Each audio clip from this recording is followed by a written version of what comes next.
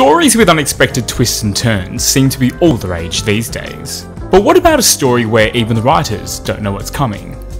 Welcome back to The Story Symphony, the collaborative fiction podcast where each chapter of the story is written by an entirely different person.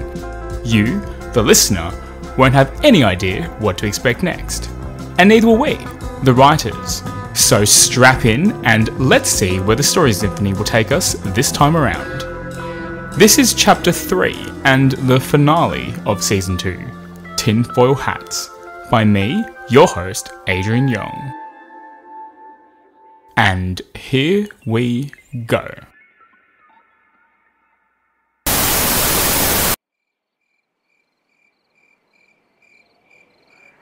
Vanessa, is that you?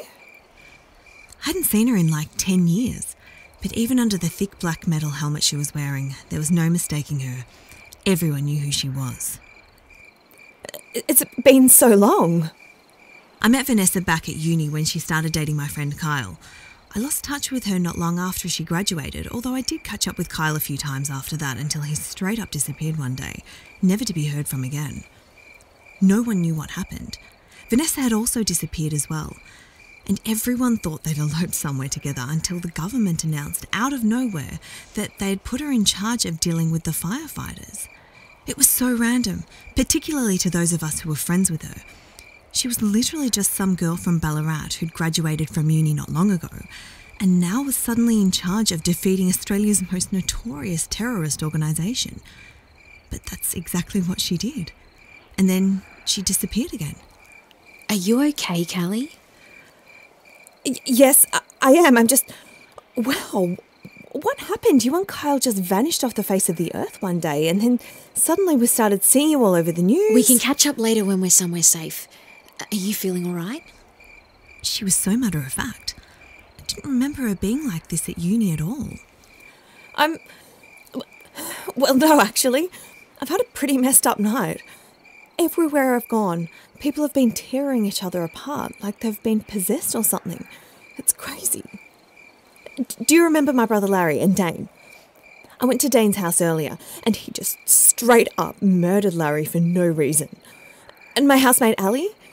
I found her completely decapitated in her room and freaked the hell out. That's concerning.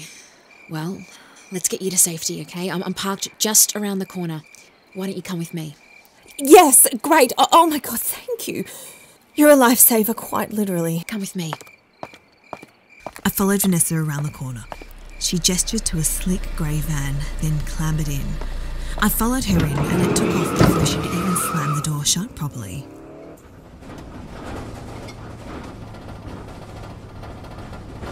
Uh, hi. Hi, guys. There were half a dozen very serious looking men and women sitting in the van. They were all wearing the same weird combat helmets that Vanessa was wearing. They were all looking intently at me, and I couldn't help but notice they were all armed. Callie, we need to know who you've talked to tonight. I turned to look at Vanessa. Her face was expressionless. I definitely don't remember her being like this at uni. She was always a bit quiet and reserved, and sometimes didn't feel entirely engaged when you were talking to her. I always thought she was just a little spacey. I definitely remember her being a bit more smiley. Um, uh, well, I talked to Dane when I went over to Larry's house and found that Dane had murdered him. And I, I guess I spoke to Larry on the phone and and my ex Alan. I went to his house because I didn't know where to go and then his girlfriend went psycho and I'm not just talking like jealous girlfriend psycho. I mean like zombie psycho. Okay. She turned to the man sitting next to me. Are you getting all of this, Hillard? Yes, Vanessa. I'm letting headquarters know now. Headquarters? What? They were being weird. I was beginning to feel a bit uneasy. Uh, hey Vanessa, do you know what's going on? It sounds like you do have some idea. Vanessa had begun furiously typing into her phone and had already disengaged from the conversation. We'll explain everything when we get back to the research centre. The the research centre. Uh, We're responding to a very serious outbreak of an infectious disease called the Hazar virus right now.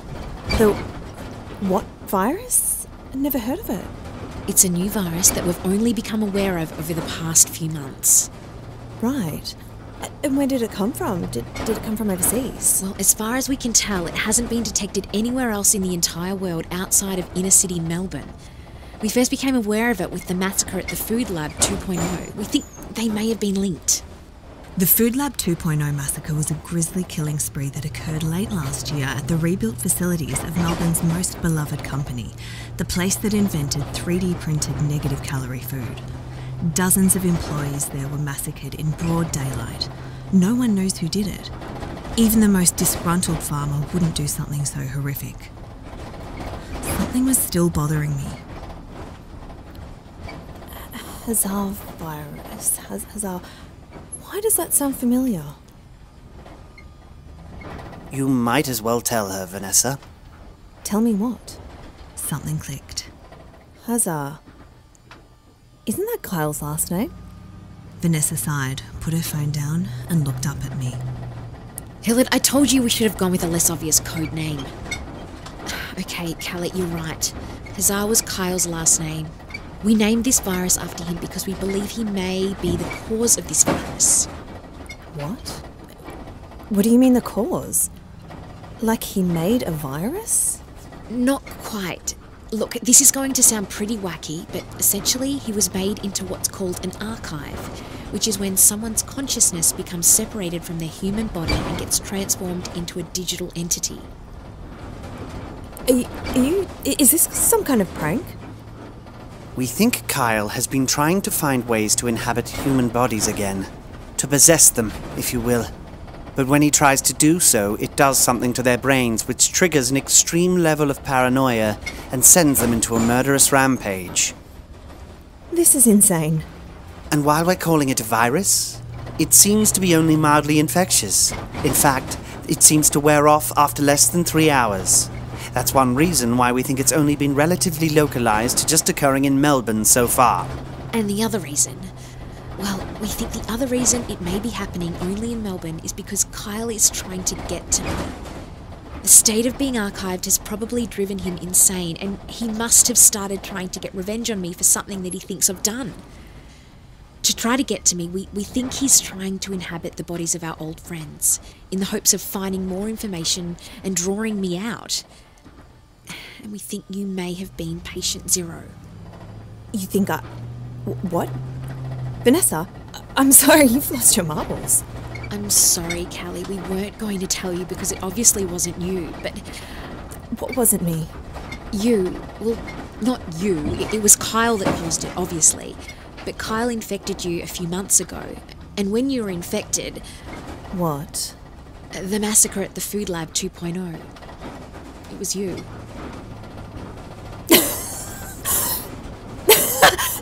Va- Vanessa, are you listening to yourself? You're saying I got infected by a digital version of your boyfriend and slaughtered a few dozen food scientists? I'm sorry. Vanessa held up her phone, which was playing video footage of a few technicians standing around a giant food printer, with a giant nugget slowly being churned out of it. The nugget was bigger than all of the people combined. It was disgusting, but also beautiful at the same time. Then suddenly, a figure came out of nowhere with a crowbar. The technicians never knew what hit them. It was all over in less than 30 seconds. And it was, unmistakably, me. No, no, no, what? That, what have I done? Don't worry, Callie. It's okay. That's not you. Your mind just went a bit haywire because Kyle tried to possess you. I, I killed those people. It's going to be okay, Callie. Uh, we're going to fix everything. What did she mean by fix? Va- Vanessa, where are you taking me? We're just taking you to our research centre. With a few tests, we should be able to find a solution. What kind of tests? Relax, Callie. It didn't seem like she was going to give me any more information, and there wasn't much more I could do. So I sat back in silence and tried to come to terms with the fact that I'd massacred a few dozen people without even knowing it.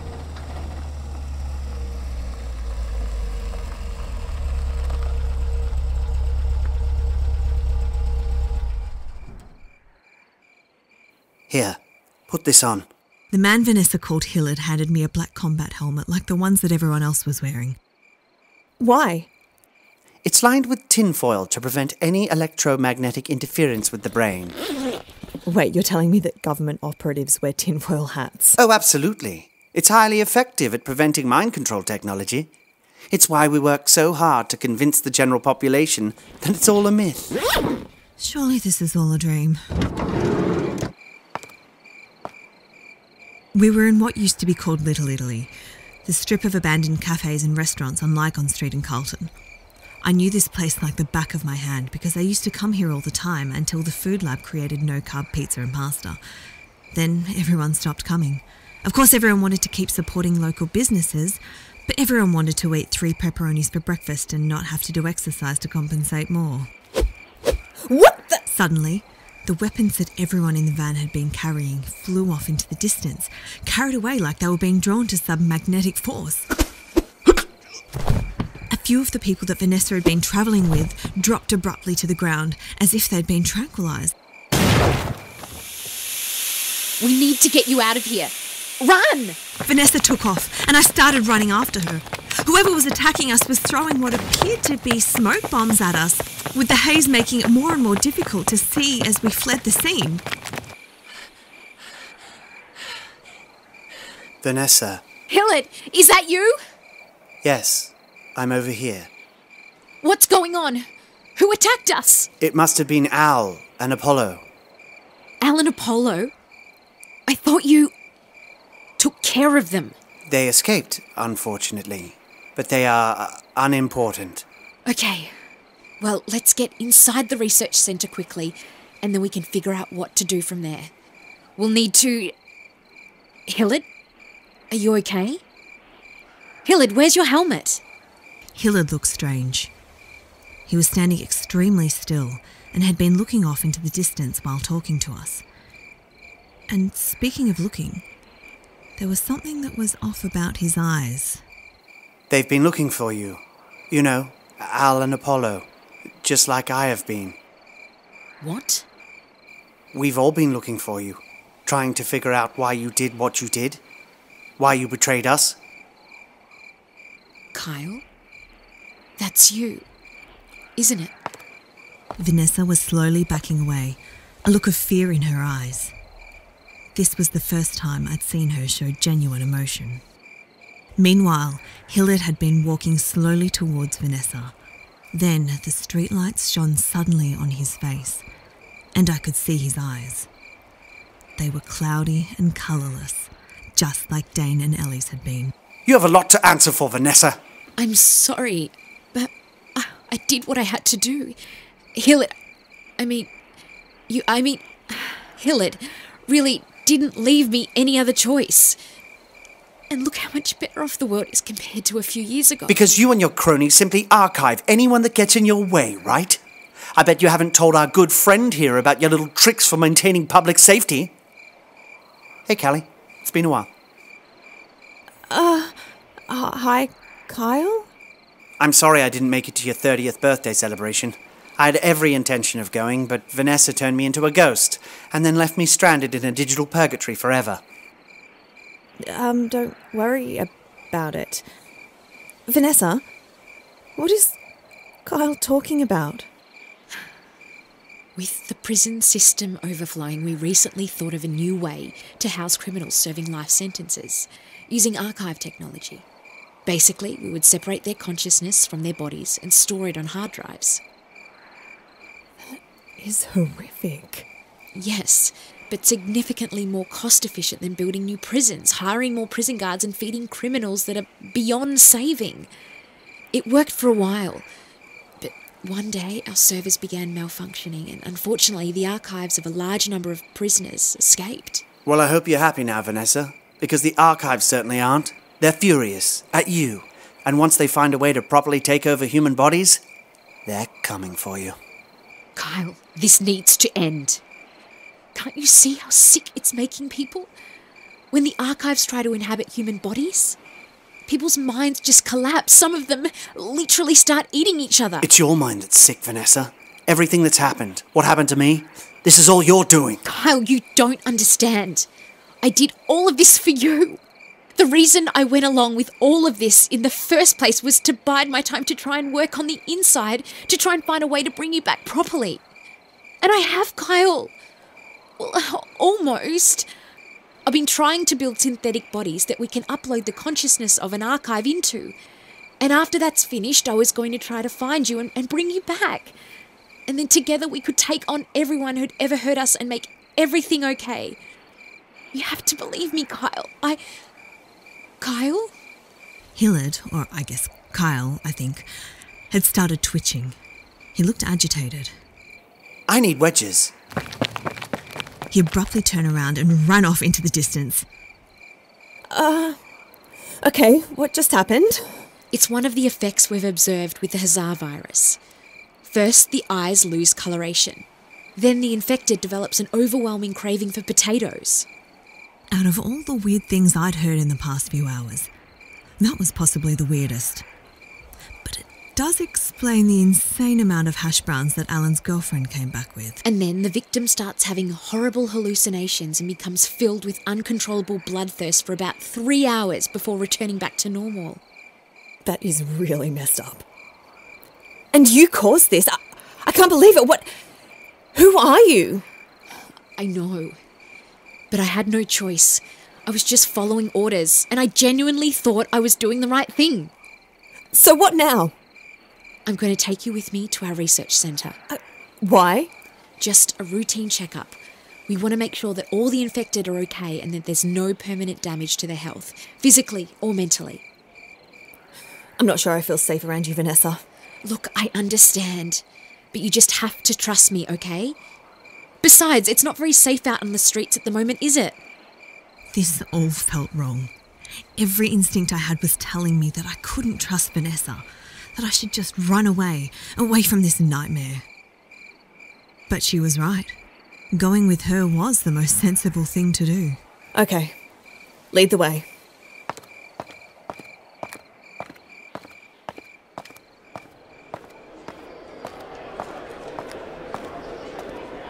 This is our research centre. The research centre looked exactly like what you'd expect a building housing a shady covert organisation to look like. A clinical, plain looking facility staffed with clinical, plain looking people scurrying about with not a hint of a smile on their faces. It was like a hospital, except that nobody looked like they had any interest in helping you.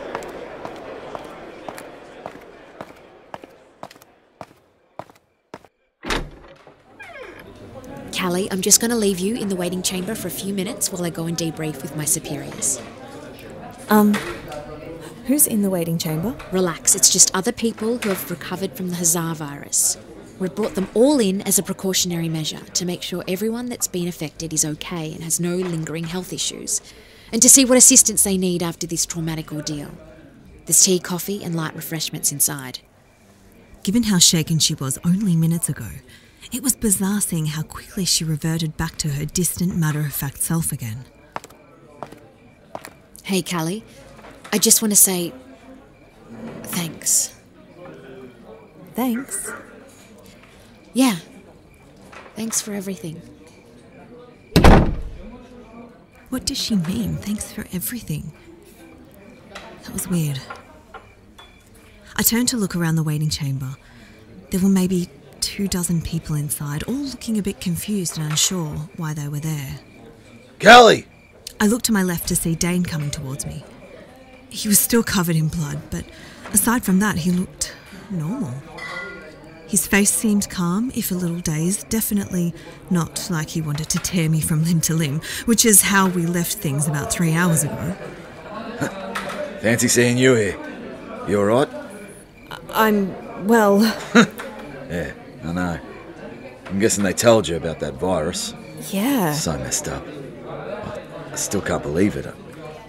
But, well, I was leaving work, and the next thing I knew, I was in the middle of the night, and I was in my garage with Larry's dead body. I'm so sorry about your brother, Kelly. Larry. With everything that had happened in the last few hours, I still hadn't even processed the fact that my brother was dead. At the hands of his childhood best friend. It's okay, Dane. It's not your fault. It wasn't you who did that. And. and Grace. She's dead too. And I think. I think I might have killed her as well. I'm sorry, Dane. It's going to be okay. Vanessa will fix things. Vanessa. Is she here too? Yeah. W- wait, you haven't seen her? Suddenly, one of the walls of the waiting chamber began sliding open to reveal a ceiling to floor glass wall.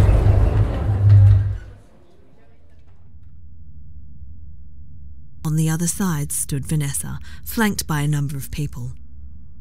It felt like we were in an interrogation room. The hell? That's Vanessa. Good evening, ladies and gentlemen. My name is Vanessa, and I am the General Manager of this research centre. First of all, we would like to extend our deepest sympathies to you tonight for the ordeal you have all experienced. As we have explained to some of you, the escaped souls of a number of digitally archived criminals were unfortunately let loose into the world. Thankfully, our software engineers have managed to fix our servers and we'll be able to recall the escaped archives.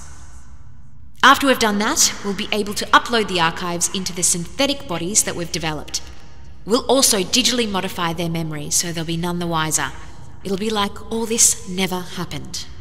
However, there is one small snag in this plan.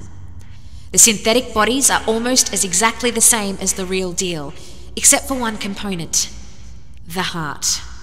Despite their best efforts, our top scientists have been unable to create a replica of a human heart that can keep these synthetic bodies alive. They only seem to be able to work with real human hearts. Which brings us to you. I am deeply sorry, but I'm afraid that there is no happy ending for you. We'll be needing to take your hearts from you to power the synthetic bodies.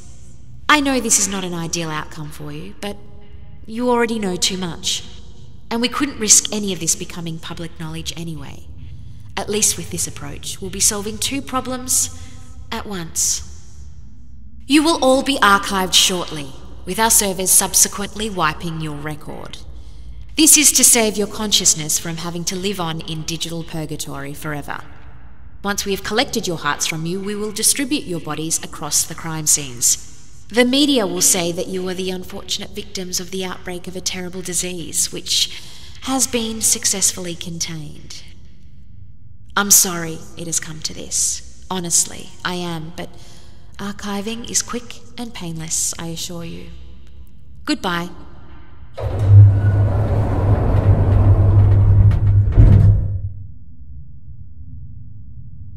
There was a stunned silence in the room, save for a few people murmuring to themselves. Um. What is she on about? What. What was that? Was that just some weird joke? I wished it was a joke, but I knew it wasn't.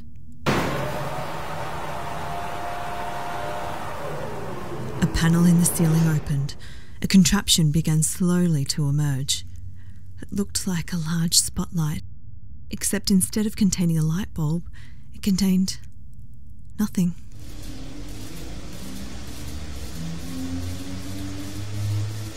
I started feeling an itching sensation in my temple.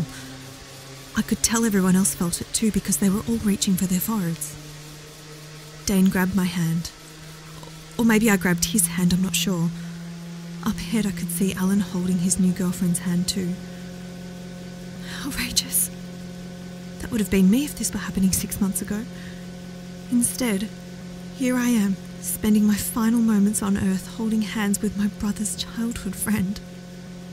Young Callie wouldn't have been caught dead holding Dane's hand, which, given the circumstances, was a bit ironic.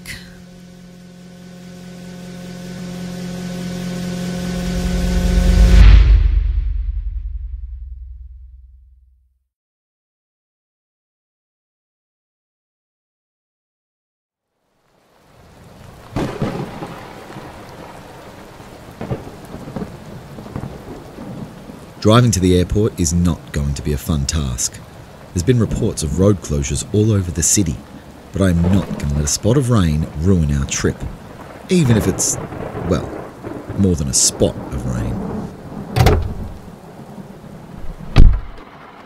You're soaked. I really can't wait to get out of this godforsaken city. Also, I got you a jam donut. Uh, no thanks, you can keep that. I haven't been dieting this hard all summer for you to just ruin my bikini bod right at the last minute. Well, suit yourself. We'll see how long you last with those continental breakfasts. When in Rome. Yeah, or when not in Melbourne.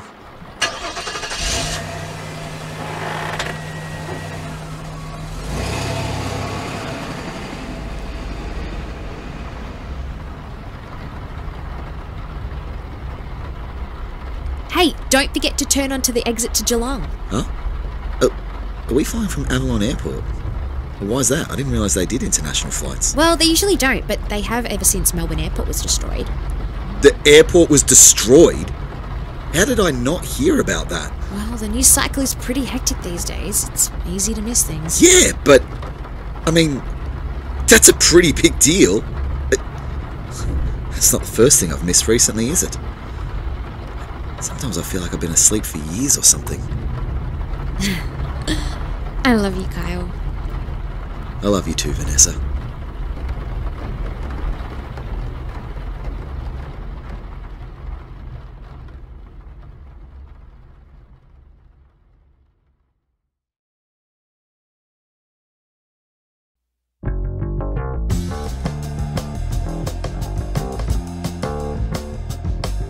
Today's chapter was written by none other than myself, the creator of this podcast. So I'm Adrian, a Melbourne based writer with a passion for creating things. That's why you're listening to this podcast. The idea for the Story Symphony struck me one day as I was listening to a fiction podcast while thinking nostalgically about round robin storytelling activities back in high school drama. And then I suddenly thought, hey, what would happen if I tried to combine these two things? So, with no prior experience with producing podcasts, but with a ton of passion for writing, and even more importantly, surrounded by a bunch of incredibly talented people, I embarked on a mad quest to create a round robin storytelling podcast. And here we are. And that brings us to the end of this season of the Story Symphony. But don't be a stranger. Follow us on Facebook, Instagram, and Twitter at The Story Symphony to join the discussion and maybe even get involved yourself. Callie was voiced by actor Kahli Williams. You can stay up to date with all of the great work that she does by giving her a follow on Instagram at Kahli, that's K A H L I, full stop Williams, or visiting her website kahliwilliams.com. Vanessa was voiced by actor, writer, and presenter Maddy Tyers, who you can find on Instagram and Twitter at Maddy Tyers. Hillard was voiced by comedian, actor, and director Jimmy James Eaton, who you can find on Instagram, Twitter, and Facebook at Jimmy James Eaton. Dane and Kyle were voiced by actor, comedian, and podcaster Angus Brown, who you can find on Twitter and Instagram at Gus Gus Brown or on Facebook at Angus Brown Comedy. And last but not least, thank you to my dear friend Leanne Miyako, the absolute superstar who's been behind the amazing artwork for this podcast. I hope you've enjoyed listening to the Story Symphony as much as we've enjoyed putting it together. Until next time.